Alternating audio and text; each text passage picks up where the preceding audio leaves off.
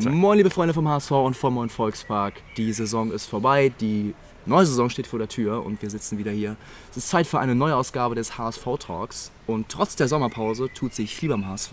Darüber wollen wir heute sprechen. Und Scholle, schön, dass du da bist. Schön, dass du da bist, Cornelius. Beim HSV Los geht's. gab es mehrere große Meldungen, die jetzt reinkamen. Ja. Ähm, vor zwei Tagen hat Robert Glatze seinen Vertrag bis 2027 verlängert. Ja, Das sind doch wohl gute Nachrichten. Das ist eine gute Nachricht, finde ich auch. Ähm, Robert Glatze ist auf zweitiger Ebene ein absoluter Topstürmer. Ähm, für den HSV vorne nicht wegzudenken. Das hat man auch in der Saison wieder gesehen. Erst, was ich, äh, mir jetzt im Nachgang erst aufgefallen ist, auch in 68 von 68 Spielen dabei gewesen. Das hat man auch nicht so oft. Ne, in zwei Saisons, also äh, laut, laut transfermarkt.de. Und ähm, ja, er trifft halt am, am Fließband. Insofern, das ist schon, das ist schon echt was Gutes. Also Der, der, den zu halten, das war ganz wichtig. Das ist, glaube ich, auch ein gutes Zeichen in Richtung der Spieler, die jetzt vielleicht noch so ein bisschen wackeln, Ludovic Reis und Daniel Heuer Fernandes, die natürlich dann auch hier und da mal ein Angebot äh, äh, vorliegen haben. Mal gucken, was da noch passiert. Also es ist auf jeden Fall der Faktor Konstanz, den ich gut finde. Also solche Spieler zu behalten, ist gut. Nicht um jeden Preis, absolut nicht. Aber zum vernünftigen Preis ist das absolut okay. Meinst du denn, das Gehalt, was er jetzt bekommt, ist maßlos überzogen oder ist es. Nein, es ist hoch. Es ist wirklich, nein, es ist schon hoch. Wenn, wenn du, man spricht so von, von 1,4 bis 1,8 Millionen und, und das, ist, das ist für einen Zweitligastürmer ist das sehr viel Geld. Ähm, nicht zu vergleichen mit, mit Stürmern wie Terodde und, und Co., die natürlich genauso äh, Forderungen haben, aber ähm, ja, es ist sehr viel Geld. Allerdings muss man sagen, äh, liefert äh, Daniel, äh, Daniel schon, äh, Daniel Glatze. Robert, äh, Daniel Glatze, genau. Robert, äh, Robert Glatze dann liefert dafür allerdings auch das ab, was, er, was man sich von ihm erwartet. Und er ist als Typ für die Mannschaft, er ist, er ist ein Spieler, der sich voll integriert hat, ein absoluter Teamplayer, kommt super an, hat viele Freunde im, im, in der Mannschaft. Also ist, ist, das ist die Konstanz, die dem HSV hilft. Ich meine, 46 Tore hat er bisher gemacht in zwei Saisons für den HSV. Das sind Argumente, Denn die das sind die sagen. Pokaltore dazugezählt. Ja, genau. Genau. Aber in der Liga waren es ja auch viele. 41 in der Liga, das ist schon eine, eine Hausnummer. Also. Ja, und er ist natürlich auch der absolute Wunsch-Zielspieler von Walter, muss man auch sagen. Ja, von, Ich, ich sag mal, ich behaupte mal nicht nur von Walter, sondern auch von den Spielern hinter Glatze, ehrlich gesagt. Ich glaube, auch, auch für die ist das der Wunschspieler da vorne. Ähm, und wie gesagt, nochmal, für Zweitliga-Verhältnisse absolut Top, Top 3 Spieler. Ja, wenn es um Vertragsverlängerung geht, wollen wir nicht unterschlagen, dass auch Tom Mickel länger beim Genau. HSV bleibt. Ähm, freut mich natürlich sehr. Ich meine, Tom Mickel ist generell in Fankreisen sehr beliebt. Ich glaube, er tut Er auch ist einfach auch in der gut. Mannschaft sehr beliebt. Er ist ein guter Charakter, er ist ein, eine tolle Persönlichkeit. Das bedeutet jetzt allerdings, dass wahrscheinlich Leo Oppermann verliehen wird. Was ich aber nicht schlecht finde. Also ich, die jungen Spieler, äh, junge, gerade bei Torhütern ist es ja so, dass das eine Nummer 1 gesetzt ist. Da wird nicht viel gewechselt. So. Wenn da jetzt ein richtig guter Torwart mit Oppermann dahinter ist, äh, der äh, allerdings dann auch schon weiß, dass er ja auch hinter Raab noch steht. Also er wäre dann nur Nummer 3. Also die Wahrscheinlichkeit, dass er zu einem Einsatz in der Saison kommt, tendiert gen Null, in der, in der, in der äh, Profimannschaft zumindest. Ähm, äh, solche Spieler zu verleihen macht Sinn, das ist gut, das sollte man machen. Da muss der HSV meiner Meinung nach auch wirklich hin, dass er Spieler äh, nicht irgendwie nur hinten dran sitzen hat oder in die Regionalliga steckt, sondern dass er sie auch wirklich in, in höheren Klassen, also dritte, zweite Liga, nach Möglichkeit äh, äh, verleiht und dort spielen lässt. Weil äh, davon profitiert man am Ende, wenn die Spieler sich dort dann gut entwickeln. Glatzel bleibt also beim HSV, Tom Mickel bleibt auch beim HSV. Wer noch fraglich ist, das ist natürlich Ludovic Reis. Das hast du eben schon ein bisschen angesprochen. Er ist heiß umworben. Er ist der wertvollste Spieler des HSV im Kader. Er ist generell in der zweiten Liga ein Superstar. Er hat sich empfohlen. Du haust aber Ja, ich hau jetzt hier ein paar Floskeln raus. Aber Ludovic Reis hat natürlich ähm, sehr viele Argumente gesammelt in dieser Saison. Ist jetzt auch Absolut. gerade mit der U21 von Holland unterwegs. Und ich glaube, er weiß es auch zu schätzen, was er in Hamburg hat. Aber ich kann mir gut vorstellen, dass er auch liebäugelt mit einem Vereinswechsel. Das ist ja auch gerade Man, man muss es immer mal aus der anderen Perspektive versuchen zu betrachten. Das fällt einem natürlich schwer, wenn man mit dem HSV so eng verbandelt ist äh, als Fan und immer alles für den HSV und nur das Beste möchte, ist klar.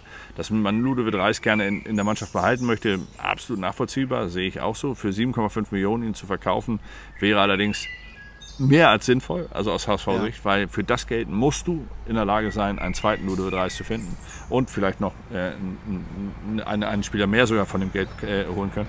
Aber Ludovic Reis selbst muss den nächsten Schritt gehen, meiner Meinung nach. Ähm, er kann natürlich noch mal eine zweite Liga-Saison spielen.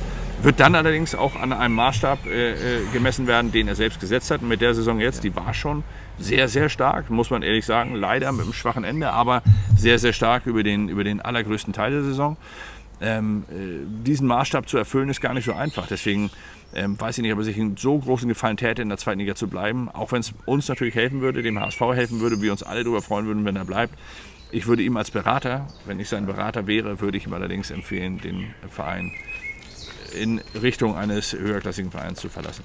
Das wäre uh, also der Ratschlag meinerseits. Aber wie gesagt, ich, ich sage es nur leise hier, hört ja auch keiner. Ja. Aber ne, es, ist, es ist wirklich, ähm, man muss es immer von zwei Seiten sehen. Und der, der Spieler hat ein riesiges Potenzial.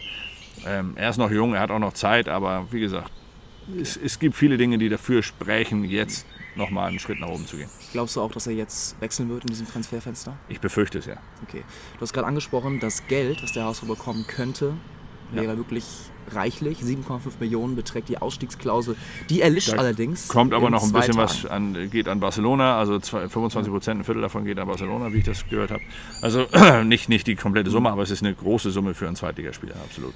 Ich habe gehört, die Ausstiegsklausel soll am Donnerstag, also am 15. 15. Juni, soll die erlöschen. Habe ich auch, sie, äh, ja.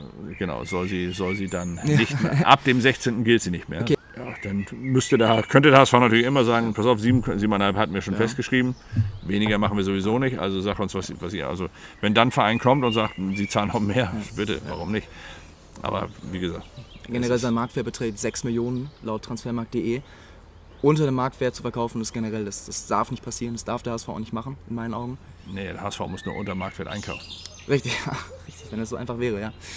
ja. Gerade jetzt mit Jetzt kommen wir zum nächsten Thema, mit frischen Millionen von Klaus-Michael Kühne, ja. ein sogenanntes Wandeldarlehen. 30 Millionen bis 2028, 3,5 Prozent Zinsen, ist nicht wenig, aber es ist okay, es ist, ne, das, das kann man machen.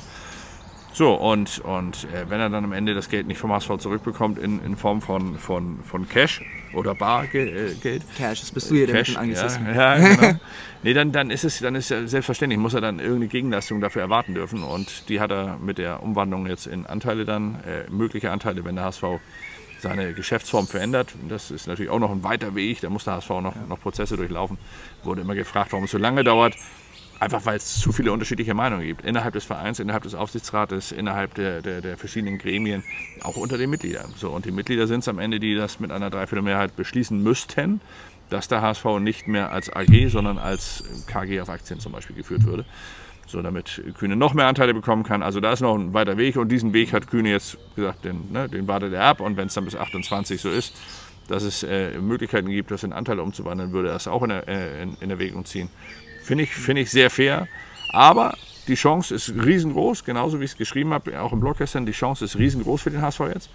Allerdings auch mit einer ganz, ganz großen Verantwortung versehen, weil dieser Betrag ist nicht als Einmalzahlung für 2023, 2024 zu sehen, sondern er ist wirklich als Zahlung für 23, 24, 24, 25, 25, 26, 26, also für die, die gesamte Zeit bis 28 zu sehen. So, und dementsprechend muss der HSV jetzt wirklich äh, schlau wirtschaften, muss zusehen, dass er dort aus diesem Geld halt mehr Geld macht. Ich habe es auch geschrieben, es gibt immer wieder Vereine in der ersten Bundesliga, vor allem natürlich, weil in die zweite Bundesliga gehen die größten Talente dann auch wieder nicht. Die wollen natürlich dann nach Möglichkeit in den ersten spielen, ist auch, ist auch klar. Aber es gibt immer Möglichkeiten, Spieler zu kaufen, wie ein Kolomani. Äh, Kolomani. Also der, der, ist auch für, für nichts gekommen, ablösefrei gekommen. Und der wird jetzt wahrscheinlich für 60, 70 Millionen wird er irgendwann äh, verkauft werden. Also warum sollte dem HSV nicht auch irgendwann mal so ein, äh, so ein Fang gelingen können? Die Frage ist halt nur, warum ist es bisher nicht passiert? Ja. Weil man offensichtlich noch nicht optimal gearbeitet hat auf der Ebene. Wobei der HSV ja schon in den letzten Jahren einige starke Transfers getätigt hat. Amadou Onana ablösefrei von Hoffenheim 2. Ja. Genau. Ähm, das, das, das, sind gute Transfers, aber von den Transfers brauchst du halt auch ein paar. Es ist auch, äh, davon auch nicht verwehrt. Also natürlich, ein Erstligist verkauft seinen Spieler auch gleich automatisch schon mal zwei Stufen über dem, was ein Zweitligist für einen richtig guten Spieler nehmen kann. Also hätte Kolomone beim, beim HSV gespielt, wäre er wahrscheinlich jetzt äh, äh nicht für 60 Millionen äh, äh, gehandelt worden, sondern für 15, 18, ja. 20 Millionen weil der HSV halt einfach dieses Geld dann auch nehmen muss in, in, der, in der Situation. Und er halt auch ein Zweitligaspieler war. Nicht? Also es ist natürlich doch nochmal eine andere Nummer. Aber ähm, trotzdem, der HSV muss einfach diese Abteilung, also das, das Scouting, ähm, die Transfers, die müssen beim HSV in den nächsten Jahren sitzen, damit sie die theoretische Chance haben, zumindest die theoretische Chance haben, sich über äh, Spielertransfers dann nochmal äh, finanziell zu gesunden. Man sieht es doch, ein, ein, ein Glückstreffer und du hast tatsächlich am Ende die Chance, 100 Millionen Euro für einen Spieler zu kriegen wie Bellingham jetzt. Oder, also es ist ja möglich, es ist nicht unmöglich. Und der HSV spricht ja nicht nur äh, intern äh, und, und, und auch öffentlich über sich als großen Verein, sondern muss sich oder, oder präsentiert sich auch den Spielern gegenüber. Deswegen sollte man da auch den Mut haben, auf solche Spieler zuzugehen, die vielleicht ansonsten eher mit, mit anderen Erstligisten sich unterhalten wollen. Da muss der HSV einfach mutig sein, da muss der HSV jetzt auch wirklich was zeigen, da muss der HSV, in der Abteilung muss der HSV funktionieren. Ansonsten wird der gesamte Apparat nicht mehr funktionieren. Hast du schon irgendwas mitbekommen, dass Gespräche laufen mit potenziellen Neuzugängen? Nein, also es gibt ja äh, äh Spieler äh, in, in, in, in, Braunschweig haben wir einen, äh, einen zentralen Mittelfeldspieler, der, der äh, äh, interessant sein soll. Ob der am Ende kommt, der hat auch schon wieder Angebote, wie ich jetzt höre, aus der ersten Liga und auch für viel Geld und oder für verhältnismäßig viel Geld, was den ASV betrifft. So und ähm, ich, ich habe da tatsächlich jetzt keine, keine großen Gerüchte, aber ich mag es auch nicht. Ich mag dieses Gerüchte äh, diskutieren, mag ich nicht. Ich, ich, ich kann oder ich finde es besser, man spricht über das, was man meint haben zu müssen. Das habe ich jetzt ja. eben einmal gesagt, welche Kategorie Spieler man natürlich, suchen alle, ist klar, aber der HSV muss davon auch mal jemanden finden. So und ähm, äh, ja, ansonsten lassen wir es auf uns zukommen. Die Transfers werden definitiv eintrudeln. Innenverteidiger werden gesucht. Ähm, Backup für Jonas Mefferts. Auch ein Rechtsverteidiger. All diese Positionen braucht der HSV. Und bitte alles mit Tempo. Also man hat, man hat gegen Stuttgart gesehen, was, was alleine das Tempo ausmacht. Also die Stuttgarter haben einfach mit ihrer Physis den HSV schon äh, in Schach halten können. Und ähm, das sollte man zumindest irgendwie hinbekommen, dass man physisch so stark aufgestellt ist, dass man die zweite Liga, dass es in der zweiten Liga keinen besseren, keine bessere Mannschaft gibt. Also spannende Wochen. Absolut. Was auch spannend ist, jetzt kommt die Überleitung. das, was die HSV Herren nicht geschafft haben, den Aufstieg, ja. das schaffen wahrscheinlich unsere Damen. Oh. Ganz, ich, ganz stark. Ich muss jetzt, ja. tut mir leid, ja. ich muss auf Holz klopfen. Dieser Tischklopfer musste sein. Ja, der muss sein. ähm, die 3 zu 0 ging das Hinspiel aus gegen Victoria Berlin. Vor Bärenstarke Leistung. Ausverkauften Haus, 1800 Zuschauer und äh, Wahnsinn. Also riesen Stimmung. Stark, was der HSV auch da auf die Beine stellt, was die Fan Base da auf die Beine gestellt hat. Ähm, stark, was die Mannschaft dann gezeigt hat mit dem 3-0. Ähm, es klingt ein bisschen deutlicher, als es war vom Spielverlauf her. Aber ähm, es wird nochmal ein harter Ritt in, äh, in, in, bei Victoria. Also insofern, ja, mal schauen. Aber ich, ich wünsche es ihnen. Also es wäre, wäre ihnen zu wünschen. Und für den HSV wäre es natürlich nochmal eine schöne Sache, nachdem man sich leider sehr unrühmlich damals äh, von den Damen verabschiedet hatte. Muss man mal wirklich festhalten, das war sehr, sehr unrühmlich. Ähm, ist es umso schöner, dass sie jetzt aus eigener Kraft und mit, mit viel, viel äh, Fleiß und, und harter Arbeit den Weg wieder nach oben schaffen. Daumen ja. sind gedrückt, ganz viel Erfolg. Und nochmal ja. rausgetan. Ja. Wir fiebern auf jeden Fall mit und würden uns riesig freuen, wenn es klappt. Und was meinst du langfristig Bundesliga als Ziel? Für die Frauen? Ja. Ja, natürlich. Also das, da, da, waren sie schon und da gehören sie auch hin, meiner Meinung nach. Ähm, ist immer die Frage äh, natürlich, äh, wie, wie, der gesamte Apparat aufgestellt ist und es wird nicht leicht für eine Frauenmannschaft, äh, sich hinter einer Herren-Bundesliga oder in dem Fall der Zweitligamannschaft äh, zu etablieren, wenn dort die Finanzen immer etwas knapper sind. Dann, dann wird es dann wird's schwierig. Ähm, da brauchst du dann so Vereine wie Wolfsburg oder Bayern. Also die, deswegen sind die ja auch da, wo sie sind. Ähm, trotz allem ähm, bin ich ganz fest der Meinung, kann der HSV das stemmen. Ich, ich, wie gesagt, über die Geldverteilung werde ich auch in den nächsten Tagen nochmal schreiben. Ähm, ich, ich würde, wie gesagt, sowieso äh, tatsächlich mehr Geld in den äh, Bereich Nachwuchs und vor allem natürlich auch dann äh, in, in, das Scouting stecken. Nicht in das reine Scouting. Also ich würde würd jetzt nicht irgendwie ganz viel teure Scouts einkaufen und denen teure Festgehälter zahlen, sondern ich würde denen immer auf Provisionsbasis Jobs anbieten, weil das einfach am Ende, es ist normal übrigens, es ist nicht unnormal in der Bundesliga, dass die Leute da auf Provision arbeiten und ähm, der HSV braucht halt einfach jetzt eine, eine starke Basis. Der HSV muss im, im, Nachwuchsbereich muss er mehr, mehr herausbringen. Also auch dieses Jahr muss mehr kommen. Also man lobt Horst Rubisch immer für seine Art, das tue ich auch. Ich mag ihn auch als Menschen sehr, sehr gern. Es ist ein ganz, ganz feiner Mensch, der äh, sehr integrativ arbeitet äh, im, im, im, Nachwuchsbereich. Ähm, viele, viele Jugendspieler kennen ihn nicht mehr. Also die, die jetzt kommen, die, die, die wissen nichts mit dem Namen Horst Rubisch anzufangen, außer sie haben schon was gelesen über ihn. Über den. Also die haben ihn natürlich alle nicht erlebt, das ist, ist ja klar. Und du hast ihn, glaube ich, auch nicht mehr erlebt, oder? Hast du ihn noch Nein. erlebt? Nein, nein, nee, nee. also wollte ich ich, bin nur sagen. 97er Jahrgang da. 97er bist Ja. du? Alter Schwede, äh, blutjung. Ja. Nee, dann, dann natürlich nicht.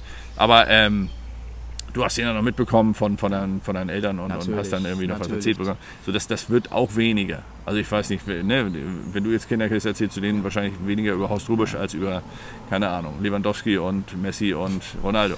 Also ist ja so. So, und das, das muss man einfach, diese Generationswechsel muss man mit, mit einkalkulieren. Deswegen ähm, ist, ist das alles, alles toll, was, man, was im Nachwuchs passiert. Aber auch da muss man sagen, müssen einfach Ergebnisse her. Und damit meine ich weniger das Ergebnis, dass man Meister oder Vizemeister wird in der Regionalliga, als das Ergebnis, Spieler nach oben zu bringen. Ja. Das die muss Integration von Jugendspielern ins Profiteam, Richtig. das ist die Da muss, Herausforderung. da- das, das, muss, das muss funktionieren. Da, das ist der, der Kernaspekt einer Jugendarbeit. So, so doof das klingt, weil natürlich alle immer sagen, "Ey, wir müssen auch ein Team haben. Genau. Nein, erstmal geht es dann tatsächlich darum, Spieler für die Profimannschaft auszubilden. So, und da muss ich ganz ehrlich sagen, äh, wird mir alles ein bisschen zu rosa-rot gesehen. Das ist mir ein bisschen zu, zu schön ge geredet, weil immer mal Jungs oben mitmachen. Tom Sanner kommt rein, macht gleich ein Tor. Tolle Geschichte, freue ich mich auch tierisch drüber, weil Niendorfer Junge und, und ein sehr fleißiger. Ähm, der hat es auch alle mal verdient, alleine für den Aufwand, den er in, in, in den letzten Jahren betrieben hat und auch immer noch betreibt. Ähm, aber äh, trotz allem, es sind ja äh, wenige Spieler sind dann wirklich fest reingerückt und bleiben dran. Das ist einfach zu wenig. Ne? Also ja, selbst Farid Alidou äh, sieht man, dass, dass der dann irgendwann, ne, wenn es höher geht, hat er Probleme. So und ja, da, wie gesagt, der HSV braucht halt auch da mal so einen 16-, 17-, 15-Jährigen, äh, den, er, den er dann so ausbildet, dass er bei den Profis nicht nur Fuß fasst, sondern dass der dann am Ende für einen ganz, ganz äh, netten Betrag weiterverkauft wird oder Interesse weckt.